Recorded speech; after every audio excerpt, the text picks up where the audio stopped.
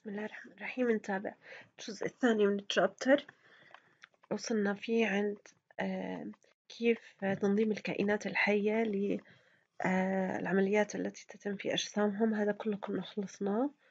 آه، وهذا تمام. في هذا الجزء من الشابتر يا ريت بس هيك تصحصحوا معي. هو شوي آه، يحتوي على الكثير من المعلومات أو مش المعلومات المصطلحات اللي لازم تكونوا عارفين إيش معناها. عارفين إيش معنى regulator إيش معنى conformer إيش مثلا endothermic ectothermic. هاي كلها مصطلحات جديدة أنا بعرف إنها جديدة عليكم. آه، ولكن يعني آه، يكفي أن تستطيع تميز بين هاي المصطلحات. تكون عارف إيش يعني regulator إيش يعني conformer إيش يعني ectotherm endotherm هاي الكلمات الجديدة. يكفي بهذا الجزء إنه فقط نعرف شو معنى هاي الكلمات. بحكي لنا الكائنات الحية حسب تنظيم ال internal environment إلهم يقسموا إلى regulator and conformer. شوف اقرأ معي. Animal manage their internal environment. الكائنات تستطيع أن تدير وتغير أو تدير ال internal environment البيئة الداخلية لأجسامهم by إما regulating تنظيم هاي البيئة الداخلية أو conforming. conforming معناها يلائم أو ملائم. ملائمتها تغييرها حيث تلائم external environment إنها تلائم البيئة الخارجية.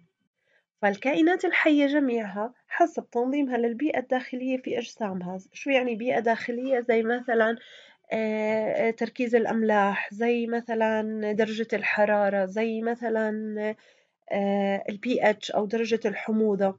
في كائنات حية أجسامهم الداخلية أو البيئة الداخلية لأجسامهم ثابتة ما بتتغير كتير تغير طفيف جدا. هدول بيكونوا بينظموا البيئة الداخلية في جسمهم لا يحتملوا أي تغير كبير في هاي البيئة. إذا تغيرت البيئة الداخلية بيموت الكائن الحي زي الهيومن أما في كائنات الحية لأ بتلاقيها بتعدل البيئة الداخلية في جسمها حسب الوسط اللي هي عايشة فيه حسب البيئة الخارجية تبعتها. بتلاقيها ما عندها مشكلة في التغير الكبير لل internal environment. هدول ال groupين أسميناهم regulator و conformer. ال regulator هم الكائنات الحية اللي ال internal ال internal condition عندهم في عليها control ثابتة متحكم بها. نقرأ. Regulator ويا ريتوا إحنا بنحكي تكونوا الحكي اللي أنا بحكيه تكتبوه بالعربي جنب وتدونوه ملاحظات جنب ال جنب الأشياء اللي بنقرأها والأسطر اللي بنقرأها. نقرأ. Regulator uses internal control mechanism. يستخدم عمليات للتنظيم الداخلي to moderate internal change للتحكم أو تعديل أي تغير داخلي internal change. In the face of external لمواجهة التغيرات الخارجية. اللي هي environmental fluctuation التذبذب البيئي. أرجع أعيد بشكل سريع إيش معنى ال regulator هي الكائنات الحية التي تتحكم في بيئتها الداخلية سواء درجة حرارة سواء بي اتش سواء تركيز الأملاح. كل إشي البيئة الداخلية ثابتة وهاي الكائنات الحية تتحكم فيها لا تسمح بها تغير كبير بنحكي لهم regulator أما ال conformer allow to its internal condition vary vary تختلف with certain external changes. تسمح باختلاف البيئة الداخلية لأجسامها حسب ال external changes حسب التغيرات البيئية الخارجية. نشوف من الأمثلة عليها والمثال مهم جدا يا ريت تحفظوهم. من الأمثلة على ال regulator ال river otter اللي هي قندس الماء أو قندس النهر. هذا درجة حرارة جسمه الداخلية تقريبا تسعة وثلاثين ثمانية وثلاثين. سواء هاي البودي temperature هاي الانفايرومنت temperature. سواء عاش في درجة حرارة صفر ولا خمسة ولا عشرة ولا عشرين ولا ثلاثين ولا أربعين درجة حرارته هيها. ثابتة في كل الظروف البيئية المختلفة أو درجة الحرارة البيئية المختلفة. ثابتة يعني هو متحكم فيها. لما بيكون عايش في درجة حرارة زي هون مثلا خمسة بيكون بيعمل عمليات في داخل جسمه ميكانيزمز آه إنها يحافظ على البيئة الداخلية. تبقى ثمانية وثلاثين. آه سواء كانت أربعين بيعمل على إنه ما ترتفع درجة حرارته الداخلية وتبقى ثمانية وثلاثين. أما مثلا large mouth bass هي نوع من الأسماك temperature conformer بنسميها. هي ملائمة تلائم جسمها ملائمة حرارية حسب ال ال البيئة الخارجية اللي هي بتعيش فيها. يعني آه كانت عايشة في درجة حرارة مثلا هون خمسة أو أربعة درجة حرارتها الداخلية خمسة صارت. عاشت في درجة حرارة عشرة درجة حرارتها الداخلية عشرة. عاشت في درجة حرارة عشرين نفس الإشي. عاشت في ثلاثين نفس الإشي. أربعين ما بتستطيع إنها تتحمل. تتحمل تقريبا للأربعة وثلاثين أو خمسة وثلاثين أكثر من هيك رح تموت. رح تموت السمكة ما بتتحمل أكثر من هيك. فهذا الفرق. الفرق بين ال conformer وال regulator إنه الكونفورمر بتعدل حسب الإمكان تحت مثلا هون لو حكينا أربعة أو ثلاث تحت الثلاث ما لن تستطيع أن تعدل حرارتها فرح تموت. وأكثر من ثمانية وثلاثين أو سبعة وثلاثين ما رح تستطيع أن ترفع من درجة حرارتها فبعدها بتموت.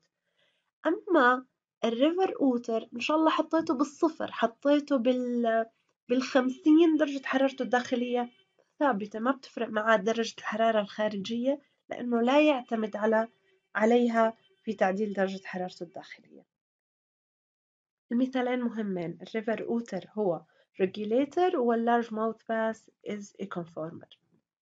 هلأ من الأمثلة على كيف الكائنات الحية بتعمل regulation و conforming من الأمثلة عليها درجة الحرارة مثلا.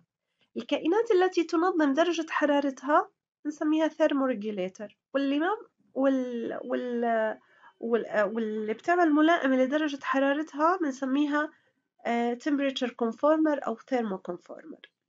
في كمان مثالين جداد على التنظيم الحراري لأجسام الكائنات الحية. بس قبل ما نحكي عن التنظيم الحراري نشوف الكائنات الحية من وين بتجيب درجة حرارتها الداخلية. يعني الحرارة الداخلية للجسم من وين بتيجي؟ لأن الواحد بيعيش في درجة حرارة صفر وال human مثلا الإنسان ودرجة حرارته لازم تكون سبعة وثلاثين سبعة وثلاثين ونص. من وين الحرارة الداخلية اللي جسمه بيجيبها؟ من برا برد. هذولا مصطلحين جداد لازم نعرفهم شو يعني endothermic وشو يعني ectothermic بس قبل ما نعرفهم خلينا نحكي شو يعني thermoregulation تنظيم حراري. التنظيم الحراري أو thermoregulation is the process which animal maintain the internal temperature within a tolerable range. يعني هي العملية التي يحافظ بها الكائن الحي على internal temperature درجة حرارة داخلية within a tolerable range بمعدل يتحمله الجسم الكائن الحي. مش إنه مثلا يرفعها لتسعة وثلاثين أو أربعين خلص ما بيعيش الكائن الحي على هاي الحرارة. تمام؟ فنرجع نحكي thermoregulation the process which the animal maintain internal temperature within a tolerable range بمعدل آه، يتحمله الكائن الحي. تحافظ على درجة حرارتها الداخلية. عمليات. أرجع أعيد.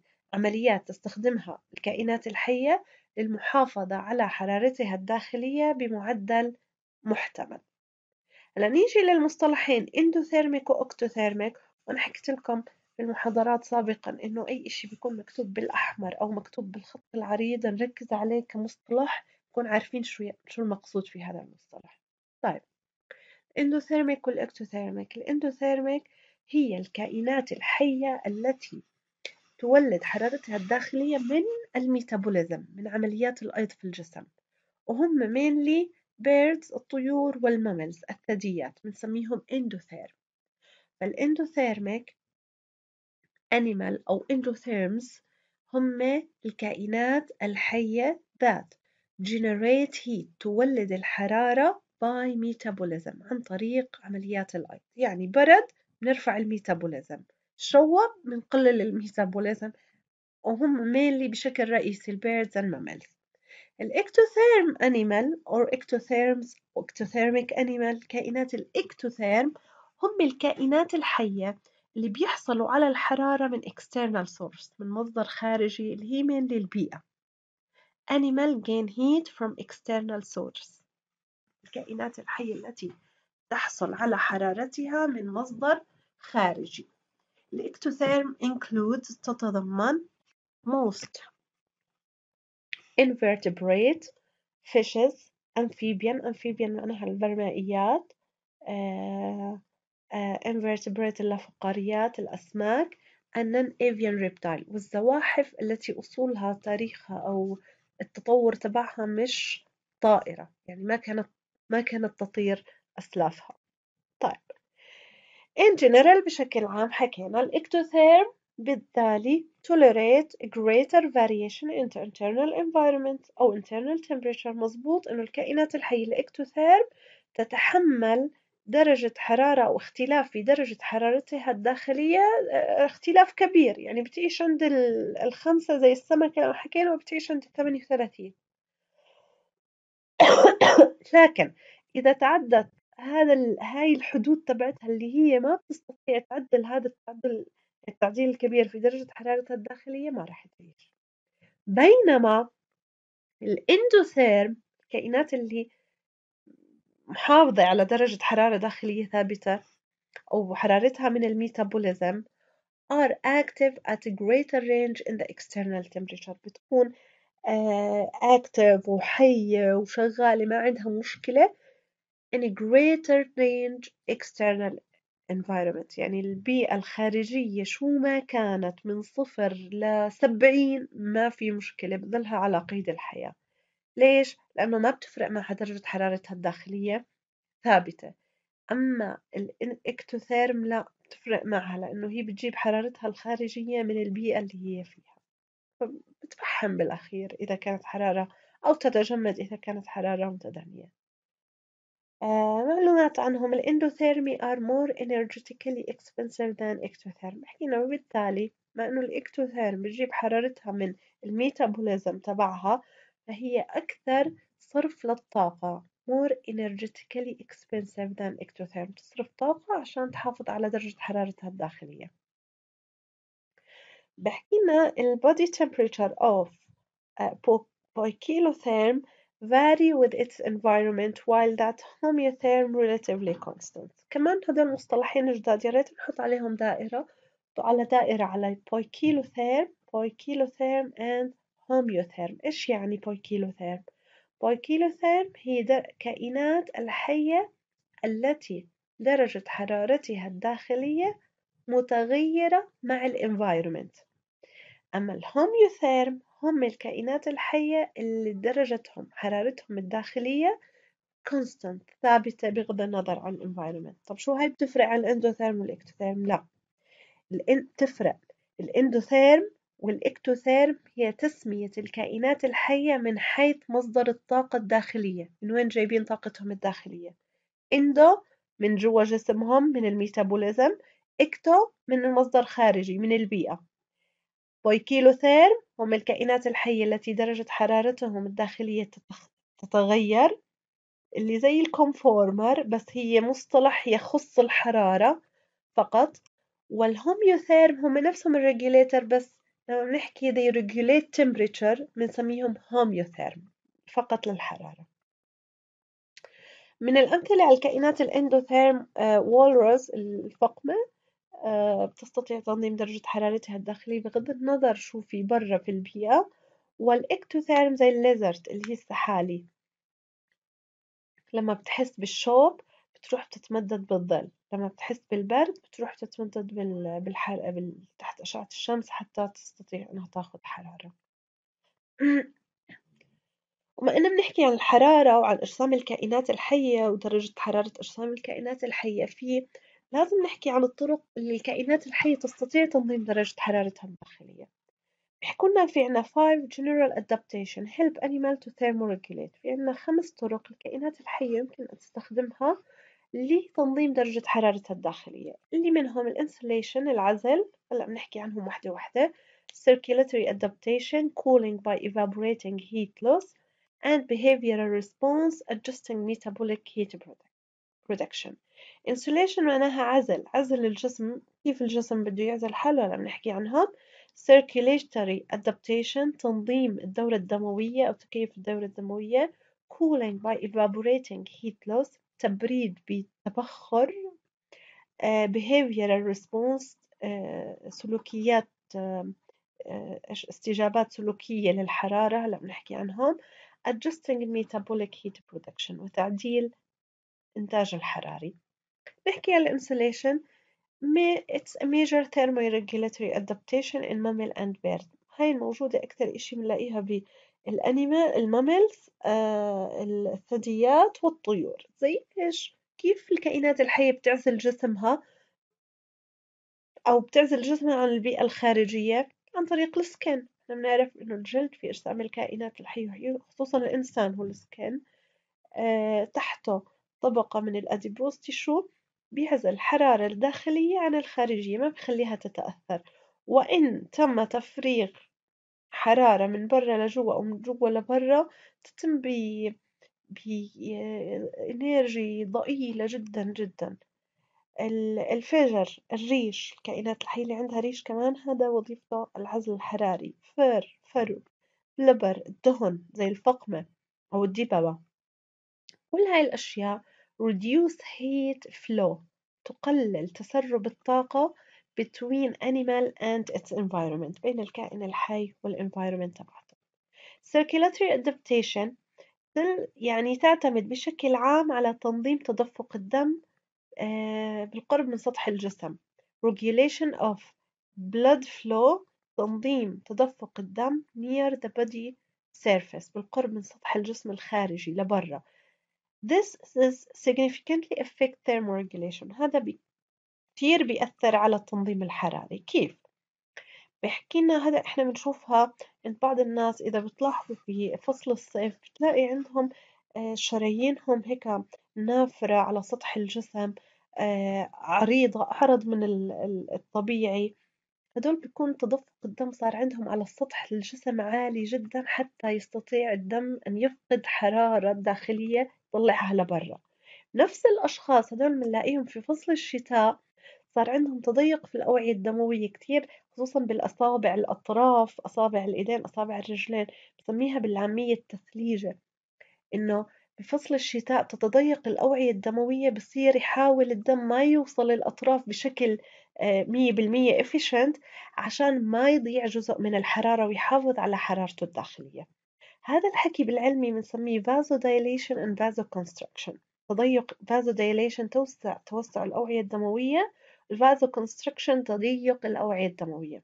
نعيد بحكي لنا many endotherm الكثير من الكائنات الحية اللي بتح... اللي طاقت أجسامها من ال metabolism الداخلي تبعها and some ectotherm والقليل من ال ectotherm الكائنات الحية يستطيعوا أنهم can alter the amount of blood flowing. يستطيعوا أن alter يغير أو يعدل كمية الدم التي تصل بين ال body core and the skin. يعني ال body core هو محور الجسم الأعضاء الداخلية للجسم وال skin هو الجلد السطح الخارجي للجسم. تعدل كمية الدم المتدفق ما بين البودي كور والسكن حسب درجة الحرارة الخارجية. في vasodilation في توسع الأوعية الدموية شو بصير؟ البلد فلو in the skin يزيد تدفق الدم في الجلد.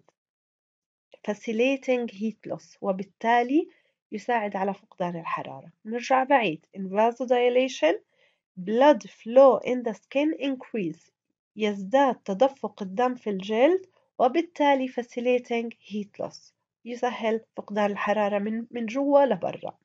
الفازوكونستركشن أو تضيق الأوعية الدموية بالقرب من الجلد أو في الجلد blood flow in the skin decreases. تدفق الدم في على السطح الخارجي للجسم أو في الجلد يقل lowering heat loss وبالتالي يقل من آه، تسرب الحرارة. للنقطة الثالثة cooling by evaporating heat loss. الحيوانات أو الكائنات الحية أنها تستطيع أن تبخر جزء من الماء الموجود في جسمها في لغاية التبريد. إحنا بنسميها عن الهيومن التعرق. كائنات حية أخرى زي الأفاعي زي الكلاب تعمل بانتينج يعني بتفتح دمها وبتصير تبخر يصير من اللهاث أو من اللسان. Many type of animal lose heat through evaporation of water in sweat. تبخر الماء بالتعرق. بنسميه evaporative cooling التبريد بالتبخر تبخري. Panting increase the cooling even in bird and many mammals. البانتينج هو اللهاث إنه الكائنات الحية تفتح فمها يمتد اللسان حتى إنها تخفف من درجة حرارتها. أيضا sweating تعرق bathing دخول الكائنات الحية زي بعض الطيور بعض البرمائيات إلى الماء لترطب الجلد تبعها help to cool the animal down. Sweating تعرق bathing هي الغمر بالماء panting اللهاث behavioral response وهي بنشوفها إحنا يعني بالطبيعة أو حتى سواء إنسان سواء قطط سواء كل الكائنات الحية البوستر الوضعيات تبعونها الوضعيات اللي تتخذها أو طريقة جلوسها طريقة نومها في المكان الحار تختلف عنها في المكان البارد. بحكي لنا both endotherm and ectotherm use behavioral response to control body temperature. تغيرات سلوكية حتى تغير من درجة حرارتها. مثلا بحكي لنا some terrestrial invertebrates. بعض الزواحف أو اللافقاريات زي الترستل زي الحلزون أو السلحفاة have poster to minimize or maximize absorption of solar heat. إلها آه، وضعيات حتى تقلل من امتصاص الحرارة آه، امتصاص الحرارة من الشمس أو زيادة امتصاص الحرارة إذا كانت هي تريد الحرارة من الشمس. هيك بنكون خلصنا كيف تنظيم الحراري في أجسام الكائنات الحية وصلنا عند ال energy requirement related to uh, animal size activity and environment. هذا الموضوع بس بدي أحكي بالملخص الملخص المفيد السريع إنه الكائنات الحية تحتاج للطاقة واحتياجها للطاقة يعتمد على واحد حجم الكائن الحي اثنين الأكتيفيتي ثلاثة الانفايرمنت العلم اللي درس تحولات الطاقة في أجسام الكائنات الحية بنسميه bioenergetic. bioenergetic is the overflow and transformation of energy in animal. تغيرات الطاقة وتدفق الطاقة في أجسام الكائنات الحية. وهذا العلم هو نفس اللي بدرسه علماء أو أخصائي التغذية it determines how much food animal need يحدد كمية طاقة لجسم الكائن الحي and relate to animal size activity and environment. طبعا زي أخصائي التغذية لما بده يحدد لك كم كالوري في اليوم أنت بحاجته بيكون بيسألك عن uh, بياخد مقاساتك ال body mass index أو ال size تبعك. بي بي بيسألك إنه هل أنت عامل؟ هل أنت موظفة؟ هل أنت آه، طبيعة العمل؟ ال activity لإلها وال environment البيئة اللي بتعيش فيها. هدول الأشياء بتحدد كمية الطاقة التي يحتاجها الجسم وتحولات الطاقة في أجسام الكائنات الحية. Animal Harvest Chemical Energy from Food. كلنا بنعرف كيف تحولات الطاقة في أجسام الكائنات الحية. إنه أول إشي الطاقة بتكون في ال food في الغذاء على شكل chemical energy على شكل طاقة كيميائية. هاي الطاقة في أجسام الكائنات الحية تحول إلى ATP حتى تنشغل السيلولار work. ف energy containing molecule from food are usually used to make ATP تتحول بالسيلولار respiration إلى ATP وهذا ينشط أجسام الكائنات الحية ووظيفة الخلايا في الجسم. After the need of staying alive are met, remaining food molecule can be used in biosynthesis. هلا الطاقة اللي حصلنا عليها من ال food أول هدف كان إننا في أجسام الكائنات الحية تطلع منها حكينا ال ATP ثاني شغلة إذا زاد عنا remaining food molecule إذا بقي عنا chemical energy تستخدم بال biosynthesis ال biosynthesis معناها البناء الحيوي يعني أول إشي الهدف الأساسي إنه تبقى على قيد الحياة ونطلع من الغذاء ATP إذا كان الأكل كافي بما فيه الكفاية باقي المواد الغذائية الفيتامينات البروتينات الكربوهيدرات يستخدمها الجسم لبناء نفسه لبناء خلايا جديدة لبناء جزيئات جديدة اللي بنسميها ال biosynthesis تعريف ال biosynthesis هو include body growth نمو الجسم repair إصلاح uh, repair synthesis of storage material تخزين صناعة المواد اللي بيخزنها الجسم لحاجته لاحقا such as fat and the production of gametes وإنتاج ال gametes عشان هيك الغذاء حتى يكون كافي؟ يجب أن يعطيني ال ATP الكافي ويبقى جزء منه لل biosynthesis إذا كان الغذاء أقل من اللازم بيعمل لي ATP ولكن لا يكفي لل biosynthesis زي الأطفال اللي ما بياكلوا كفاية زي مثلا في الدول اللي عندهم مجاعات دايما نحكي هذا المثال الدول اللي عندهم مجاعات تلاقي الأطفال آه عندهم آه عمر ست سنين يقارن حجمه عمر أربع سنين عنا. ليه؟ لأنه ما كفى آه الغذاء إلا أن يعمل biosynthesis بس يدوب كافي إنه يبقى على قيد الحياة. هون صارت تحولات الطاقة في أجسام الكائنات الحية. مهمة هاي الرسمة يا ريت نكون فاهمينها ونركز عليها. Organic molecule in food المواد العضوية في الغذاء بتفوت بصير لها digestion and absorption. هذا المربع الزهر هو يمثل جسم الكائن الحي. بصير لها digestion هضم وabsorption امتصاص. وبطلع من هاي العملية heat. هلأ بعد هذا الحكي صار عندي كم...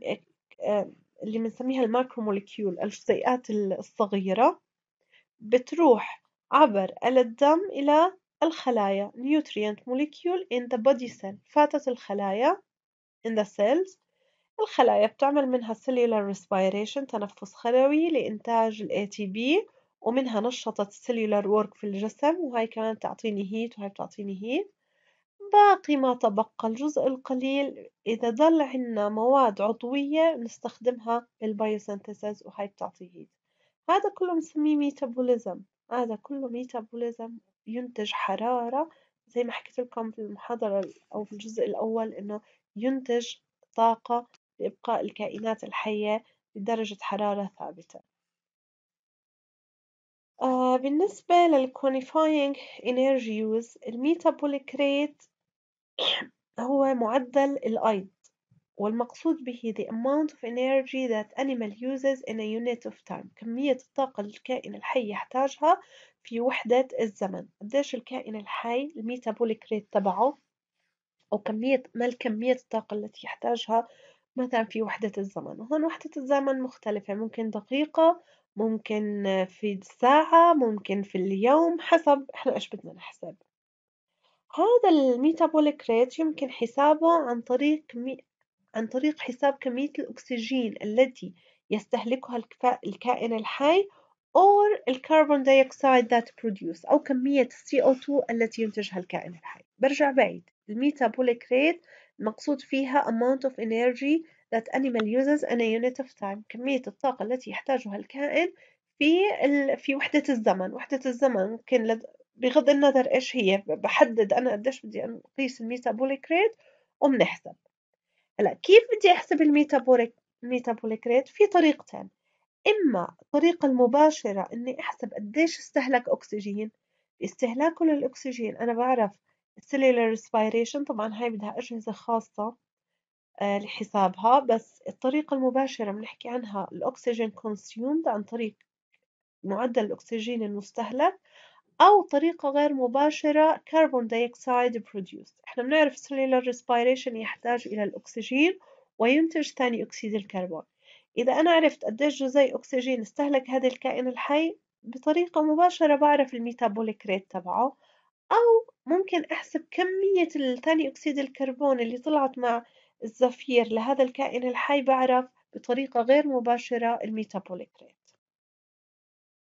هلأ الكائنات الحية ال endotherm وال ectotherm ما بصير أحكي لهم metabolic rate واحد لأنه تختلف الظروف وتختلف إنتاج الطاقة في أجسامهم. فعشان هيك في عنا صنفناهم لمي basal metabolic rate و standard metabolic rate لما بحكي مي basal metabolic rate المقصود فيه ال metabolic rate تبع ال endotherm. ف basal حطوا خط تحت basal أو دائرة وحطوا جنب هون ال endotherm دائرة. ال basal هو يستخدم لقياس معدل الأيض للكائنات ال endotherm فقط على ال comfortable temperature at rest درجة حرارة مريحة إلهم وفي في طور الراحة بيكونوا مرتاحين مش في جهد مش ماكلين مش عم بيعملوا جهد كبير. لازم يكون الكائن الحي مرتاح وفي درجة حرارة مناسبة إله مريحة إله حتى نحسب ال metabolic rate ال standard metabolic rate هو ال metabolic rate تبع ال ectotherm حطوا دائرة على ال ecto وال standard إنهم هدول لبعض. على specific temperature لازم أحدد درجة حرارة معينة أحكي مثلا standard metabolic rate للل lizard على درجة حرارة خمسة وثلاثين على درجة حرارة أربعين. ليش أحدد؟ لأنه هم مرتاحين بكل الأحوال يعني ما بتفرق معهم درجة الحرارة الداخلية زي ال endotherm. Both rate assume non-growing, fasting, non-stressed animal. بكلا الحالتين سواء ال basal لل endotherm أو ال standard لل ectotherm لازم يكون الكائن الحي non growing ليس في طور النمو. يعني مش يعني مش نجيب baby صغير ونحكي الميزة ال metabolic rate للإنسان كذا. هو بينمو هو المعدل الأيض عنده أعلى من ال adult فلازم يكون non growing. انتهى من النمو عشان نعرف ال basic metabolic rate كمان ال fasting يكون مش توه ماكل؟ ولا متضور من الجوع ولا فارض جوع عشان أقيس ال metabolic rate fasting يعني إنه صار له أربع خمس ساعات مش ماكل صائم. مش إنه هلأ أعطيناه أكل ونروح نعطيه نقيس ال metabolic rate and non-stressed animal. كمان ما يكون تحت ضغط أو جهد أو نسميها stress توتر لأنه التوتر بيزيد ال metabolic rate فمتى بنقيس ال metabolic rate للكائن الحي عند درجة حرارة ملائمة non-growing fasting and non-stressed animal. ectotherm زي ما حكينا have much lower metabolic rate than the endotherm of comparable size لدرجة للحجم واحد. يعني نجيب كائن حي إندوثيرم. نفس الحجم كائن حي آخر إكتوثيرم. بنلاقي إنه الإندوثيرم الميتابوليك ريت تبعه أعلى. وهذا طبيعي لأنه حكينا الإندوثيرم بت, بت يعني تحصل على حرارتها الداخلية من ال metabolism تبعها.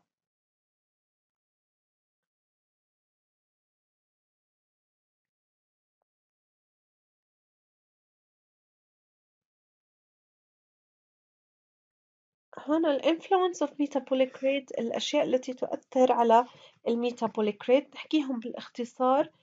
آه، حكيناهم في أول العرض ال slide إنه two of these factors the size and the activity. هدول مهمين. بس إنه المؤثرات على ال metabolic rate حجم الكائن الحي وال activity الحجم كيف بيأثر؟ هلا أنتم بتحكوا لي الكائن الحي اللي حجمه أكبر المعدل الأيض عنده أكبر. لا العكس. هاي مهمة جدا تميزوها وهي مكتوبة بالأحمر. Metabolic rate is inversely related to the body size. إنه كلما قل الحجم الميتابوليك ريت بيكون أعلى. فنجيب بيبي ونجيب طفل عمره عشر سنين ونجيب واحد عمره بيبي مثلا نحكي ثلاث شهور وعشر سنين واحد عمره خمسة عشر سنة. مين أعلى واحد أيضا عنده؟ تلاقي البيبي الحجم أصغر الميتابوليك ريت أعلى إله ليه؟ خليني أرجع أعيدها. Metabolic rate inversely. Inversely يعني آه علاقة عكسية مع ال مع ال size ليش؟ لأنه كل ما كان حجم الكائن أصغر من نوع الواحد للكائنات الحية. مش نروح نقيس مثلا فار وفيل. لا النوع الواحد إنسان وإنسان. مين؟ الطفل أكثر ولا ال adult الناضج؟ لا الطفل ال metabolic rate أعلى. ليه؟ لأنه حجمه أقل دورته الدموية أصغر بده يوصل الأكسجين أسرع مما هو لما يكون حجمه أكبر. آه، حتى النبض يعني تشوف النبض للأطفال تلاقي الأطفال بيوصل النبض عندهم مية ال newborn بيكون مية وعشرين مية وثلاثين بس الكبار ستة وثمانين ثمانين خمسة وسبعين النبض.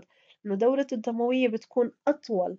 فال metabolic rate تبعه أقل هاي بتفسر إنه لو سألتكم لماذا metabolic rate علاقة عكسية مع الوزن inversely related with the size تحكوا لي the higher metabolic rate of smaller animal leads to higher oxygen delivery rate لأنه بده يوصل معدل توصيل الأكسجين عنده أسرع breathing rate عنده أسرع الهارت ريت عنده أسرع uh, uh, greater relative body volume حجم الدم بالنسبة لجسمه مقارنة لجسمه أكبر مما هو لما يكون يعني هلأ شوف الطفل والأدلت مين عنده دم أكثر؟ كمية دم أكثر كمية دم أكثر؟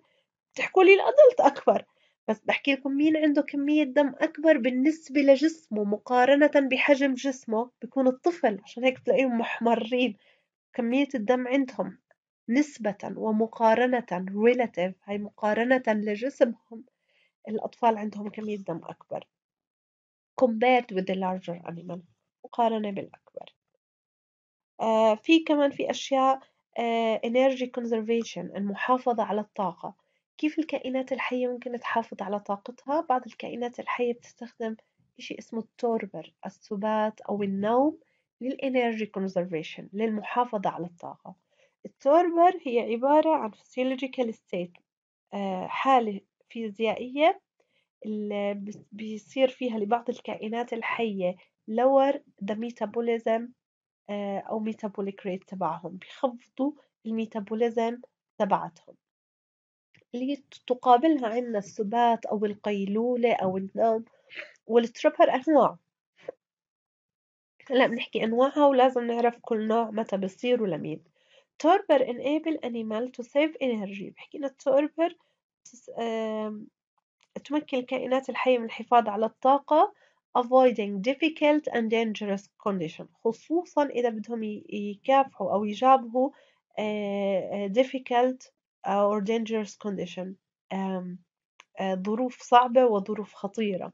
زي إنه مثلا بالشتاء ما في أكل نهائيا فبتروح بعض الكائنات الحية عاملة السبات الشتوي بنسميه hibernation. أو مثلا في بعض الطيور في الصيف عندنا بتلاقيها نايمة متخبية بالفي ونايمة عشان الحرارة مش قادرة تستمر في هاي الحرارة.